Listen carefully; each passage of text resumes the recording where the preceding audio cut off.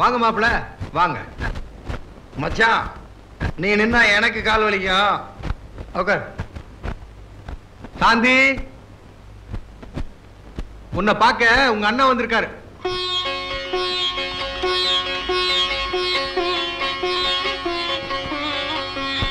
அண்ணன் இல்லாம கல்யாணம் பண்றதுக்கு உனக்கு எப்படி மனசு வந்துச்சு? அவன் அவன் கை நிறைய காசை வாங்கிட்டு பொண்ணை கட்டுவான். நான் உங்க அப்பன் காலில் விழுந்து கட்டியிருக்கேன். ஏன் தெரியுமா? இனிமே நீ என்னை எதிர்த்து ஊர்வலம் போனேன்னு வச்சுக்கோ.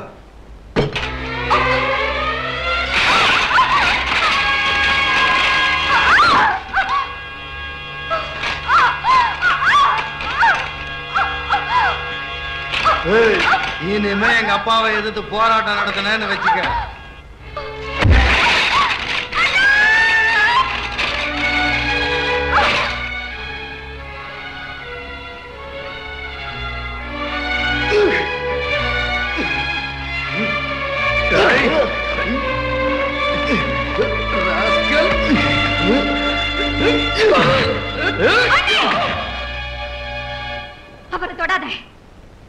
புருஷனும் மாமனாரும் என்ன அடிப்பாங்க உதப்பாங்க. எங்க வீட்ல ஆயிரம் நடக்கும். அத பத்தி நீ கவலைப்பட தேவையில்லை. அப்படி கேள். நீதான் தமிழ் பொண்ணு. ஆண்டவன் உனக்கு காலம் மட்டும்தான் கொடுக்கலன்னு துடிச்சேன். ஆனா இப்பதான் தெரியுது உனக்கு பாசத்தையும் கொடுக்கல. ஓகே ஓ வீடு ஓ புருஷன் ஓ சந்தோஷம். நல்லா இரு. நான் சொல்ல வந்தது முழுசா கேட்டு போ. அண்ணே இந்த கல்யாணத்துக்கு நான் சம்மதிச்சதே உனக்காகத்தான்.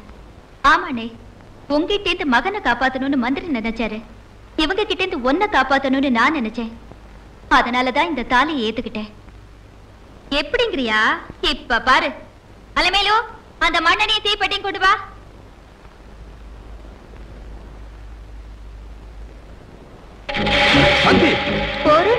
ஏன் பதற? வேடிக்கை பாரு.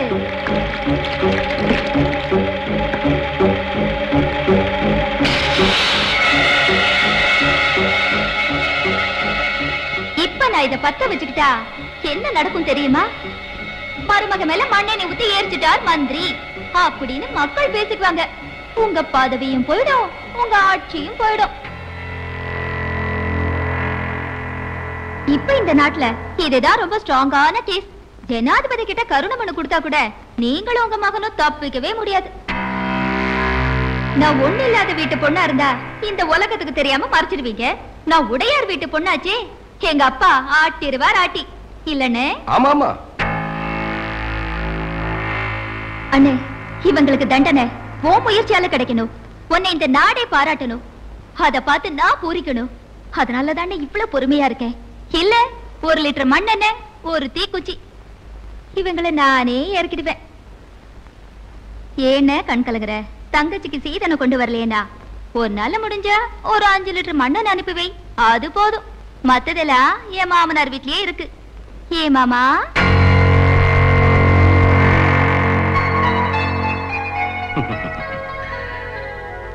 மாமனாரே எப்படி என் தங்கச்சி?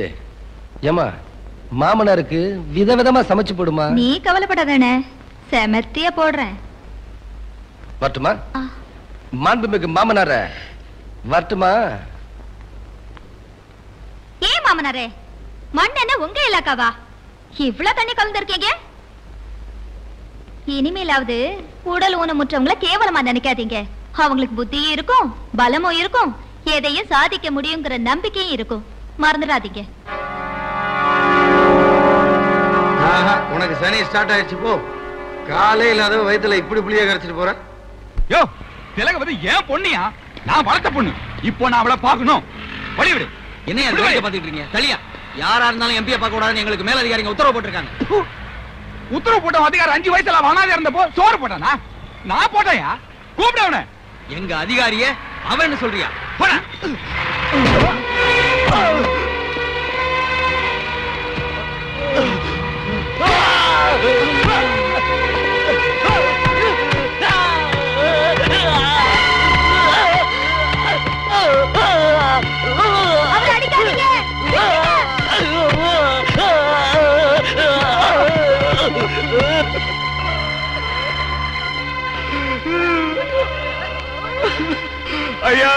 பாத்தீங்களா ஐயா? என் பொண்ணை பாக்கிறதுக்கு என் வீட்டுக்குள்ளே என்ன விட மாட்டேன்றானுங்க. அடிச்சு வச்சிருக்கானுங்க அடிச்சு வச்சிருக்கானுங்க ஒரு எம்பியை வெளியே விடாம அடிச்சு வச்சிருக்கானுங்க இவனுங்க. ஏய் பேசாம போறியா இல்லையா? இன்ஸ்பெக்டர் சார் என்னாலே திருப்பி அடிக்க முடியும். இங்க இருக்க ஒருத்தலையாவது அடிப்பேன். ஆனா நீங்களா என்ன அடிக்கல சார் எனக்கு தெரியும். நீங்களா எவனோ செய்யற தப்பெல்லாம் சுமக்கிற பாருங்கடா உங்களை நான் அடிக்க மாட்டேன். அவனை பாக்குறேன்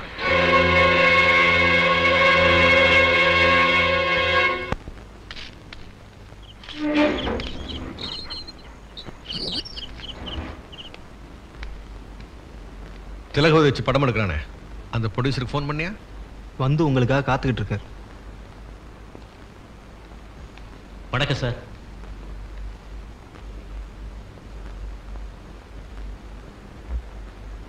உங்க படத்துல திலகவதி நடிக்க வேண்டிய சீன் ஏதாவது பாக்கி இருக்கா?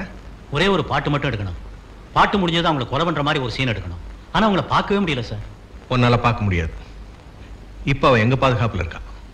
இப்பவே ஐம்பது லட்சம் ரூபா நஷ்டத்துல இருக்கேன் சார் அந்த ஐம்பது லட்ச ரூபாயை நான் உனக்கு தர்றேன். திலவதி நடிக்கிறதுக்கும் ஏற்பாடு பண்றேன். ஆனா பாட்டு முடிஞ்சதும் நிஜமாவே அவ சாகணும். அவளை வெளியே விடாம அடைச்சு வச்சிருந்த விஷயம் அவ அப்பன் கத்துனதுனால ஜனங்களுக்கு தெரிஞ்சு போச்சு. பத்திரிகைக்காரங்க சும்மா இருக்க மாட்டாங்க. அவளை வெளியே விட்டா உண்மையை சொல்லிடுவா. அதனால நாம தான் கொன்னோம்னு தெரியாம ஷூட்டிங்ல சாகணும். விட மாட்டேன்டா. என் மகளை நடிக்க விட மாட்டேன். ஈஸ்வரன் முதல்ல இவன் சாகணும்.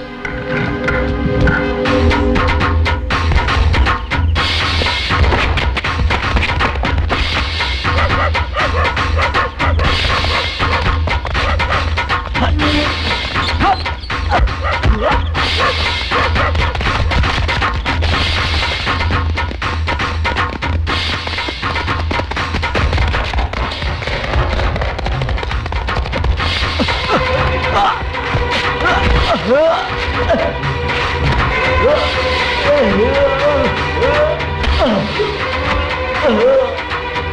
yeah.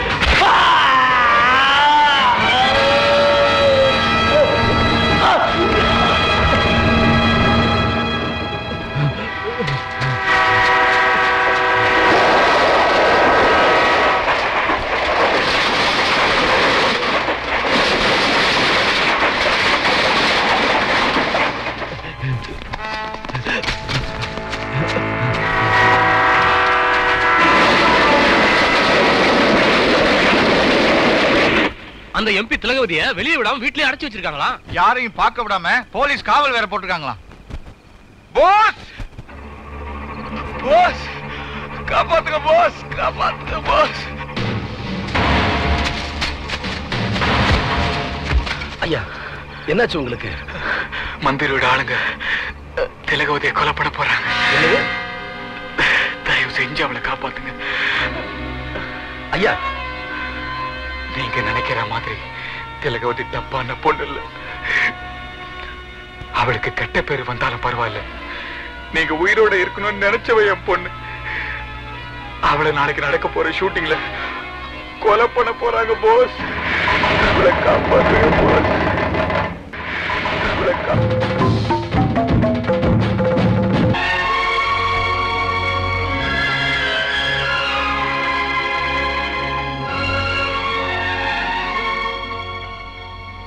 எம்மா திலகவதி. எங்கம்மா வந்த? ஏழை இங்க எழுச்ச வாயனுங்க? எது நடந்தாலும் மறந்துடுவாங்கங்கிற நினைப்புல வந்திருக்கியா? தயவு செஞ்சு நான் சொல்றது கொஞ்சம் கேளுங்க. டே இப்படி கும்பிடு போட்டு கும்பிடு போட்டு எங்க குடிய கெடுத்தது போதும். பேசாம திரும்பி போயிரு. இன்னத்துக்கு அவரை பாக்குற? உண்மையை சொன்ன உடனே ரோஷம் பொத்துக்கின்னு வந்துருச்சே. உனக்காக போலீஸ் கிட்ட நான் வாங்கின அடியை வெக்கத்தை விட்டு ஜாக்கெட்டை விட்டு காட்டுறேன். பாக்குறியா? இங்க இருக்கிற பொம்மநாட்டுகளை எங்க எங்க அடி வாங்கிருக்காங்க காட்ட சொல்றேன். பாக்குறியா? உண்ணாவிரத்துல கலந்துகிட்டதுக்காக.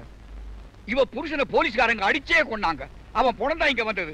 ஆனா செய்தி பேப்பர்ல வரல.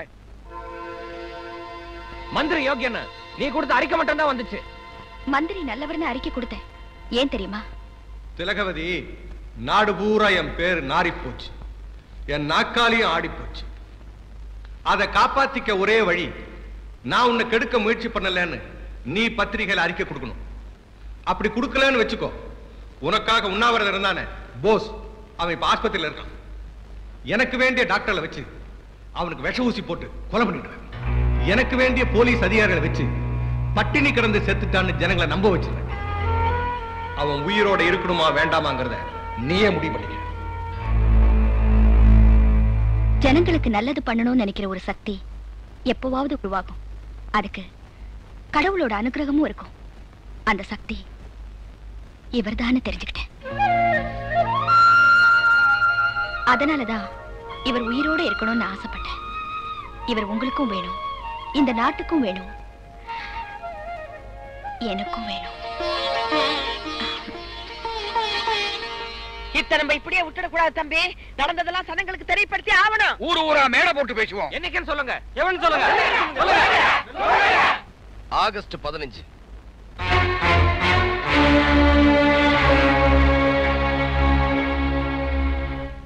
அந்த திலகவதி உங்க மகன் காப்பாத்தி அவன் பாதுகாப்புல வச்சிருக்கான் ஆகஸ்ட் பதினஞ்சாம் தேதி கோட்டைக்கு பேரணி நடத்த போறானா ஆட்சியை கலைக்க சொல்லி கவர்னர்ட்ட மனு கொடுக்க போறானா ஊர் ஊரா மேடை போட்டு அந்த திலகவதியை பேச வைக்க போறானா உடையாருக்கு மகம் முக்கியமா? நமக்கு ஆட்சி முக்கியமான்னு முடிவு பண்ணி ஆகணும். நாம என்ன முடிவு பண்றது? அதை உடையாரே முடிவு பண்ணட்டும். அவர் என்ன முடிவு பண்றது? ஆட்சி பிடிக்க பாடுபட்டது ஒரு நாளா ரெண்டு நாளா? பலி கொடுத்தது ஒரு ஆளா ரெண்டு ஆளா? உயிரை கொடுத்து பிடிச்ச இந்த ஆட்சியை உங்க மக கவுக்க நினைக்கிறத நாங்க அனுமதிக்க முடியாது. அதுவும் இப்ப கர்ப்பத்தை கலைக்கிற மாதிரி ஆட்சி ஈஸியா கலைச்சிடறாங்க. குழந்தைய சுலபமா பெத்துக்கலாம். ஆட்சியை சுலபமா பிடிக்க முடியுமா?